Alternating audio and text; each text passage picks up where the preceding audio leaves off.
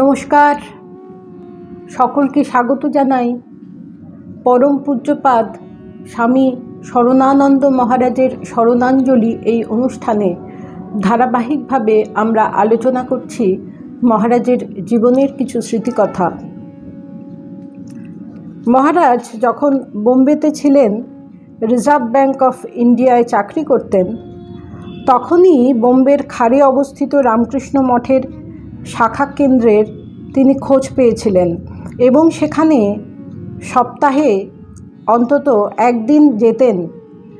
রাতের বেলা বিছানায় শুয়ে রাম নাম জপ করতে করতে বালিশ ভিজে যেত চোখের জলে। আশ্রম থেকে স্বামীজি আর ঠাকুরের বই কিনে এনে পড়া তখন তার নিত্য অভ্যাস, অভ্যাসে পরিণত হয়েছিল। কথামৃতে পড়লেন একদিন যে ঠাকুর বলেছেন, নির্জনে গিয়ে তিন দিন সাধনা করো গভীরভাবে প্রার্থনা করো, নিশ্চয়ই ভগবানের দর্শন পাবে। এটি পড়ে তিনি খুব উদ্দীপ্ত হয়েছিলেন। ঠিক করেছিলেন, এই চেষ্টাই তাকে করতে হবে। দুটি পোস্ট কার্ডে দুটি আলাদা চিঠি লিখলেন। একটি মেননকে লিখে জানালেন যে তার কয়েকটি বই আশ্রমের গ্রন্থাগারে ফেরত দিয়ে দিতে। আরেকটি চিঠি লিখলেন তার বাবাকে, জানালেন যে, আমি চলে যাচ্ছি, আমার জন্য কোনো চিন্তা করো না। কিন্তু স্টেশনে পৌঁছে চিঠি দুটো পোস্ট করতে পারলেন না। চলে এলেন বোম্বে আশ্রমে। সেখানে তখন অধ্যক্ষ মহারাজ স্বামী সম্বুদ্ধানন্দজি ছিলেন না। যুবক জয়রাম দেখা করলেন স্বামী অপর্ণানন্দজির সঙ্গে। সত্য মহারাজ। তিনি সত্য মহারাজকে বললেন যে তিনি আর বাড়ি ফিরে যাবেন না। যাই হোক সত্য মহারাজ তাকে বুঝিয়ে বললেন, এইভাবে তো হঠাৎ করে সঙ্গে যোগদান করা যায় না। তুমি বরং আশ্রমে কিছুদিন যাতায়াত করতে থাকো, তারপর যোগদান করো। মহারাজের নির্দেশ মতো যুবক জয়রাম সেদিনের মতো ফিরে গেলেন তার আস্তানায়। কিন্তু জীবনের অন্য বিষয়গুলি সম্পর্কে তার যাবতীয় স্পৃহা তখন নষ্ট হয়ে গিয়েছে। ভোর চারটে উঠে তিনি পৌঁছে যেতেন আশ্রমের মন্দিরে। তারপর যেতেন শহরে অন্য কাজকর্মে। রবিবার সারা দিনটাই কাটত তার আশ্রমে। আরও বেশি করে পড়তে শুরু করলেন স্বামীজির বই।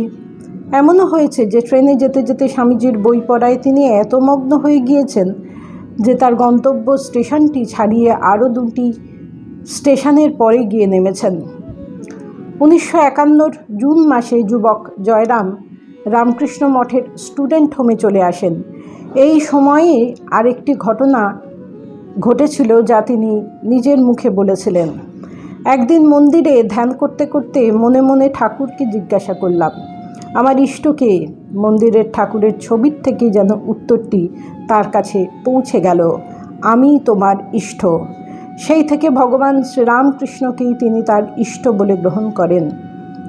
যদিও শ্রীরামচন্দ্র শ্রীকৃষ্ণ শ্রীরাজ, রাজেশ্বরী মাতার প্রতি তার গভীর ভক্তি চিরকাল ছিল। ইতিমধ্যে তিনি বিএ কোর্সের ফাইনাল পরীক্ষাটি দেন। তারপরে উনিশশো সালে আঠাশে ফেব্রুয়ারি বম্বে আশ্রমে যোগদান করেন। পরে অবশ্য তিনি জেনেছিলেন যে বিএ পরীক্ষায় তিনি পাশ করে গিয়েছেন, কিন্তু সার্টিফিকেট কখনোই তিনি নিয়ে আসেননি। সঙ্ঘে যোগদানের কথা তিনি তার বাবাকে পত্র মারফত জানিয়ে দেন। এই নিয়ে পিতা পুত্রের একটি চমৎকার পত্রালাপও হয়েছিল, যেখানে যুবক জয়রাম মানব জীবনের উদ্দেশ্য নিয়ে তার স্পষ্ট বক্তব্যকে সুন্দর করে সজ্জিত যুক্তির মাধ্যমে উপস্থাপিত করেছিলেন।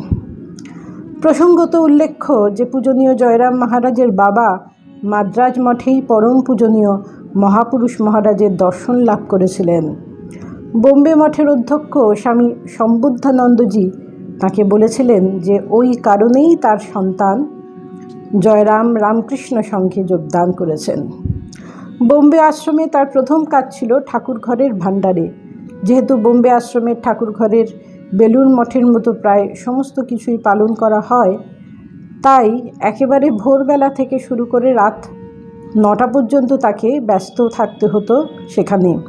তখন সেখানে পূজারী মহারাজ ছিলেন শ্রীমৎ স্বামী আশুতোষানন্দজি বা বটকৃষ্ণ মহারাজ। সাধারণভাবে তাকে সবাই বটুক মহারাজ বলে জানত। বটুক মহারাজ ইংরেজি জানতেন না আর জয়রাম মহারাজ বাংলা জানতেন না। তাই দুজনের কথোপকথন নিয়ে খুব হাসি মজা হতো।